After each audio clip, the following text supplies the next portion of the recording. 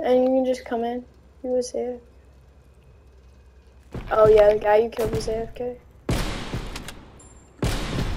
I should.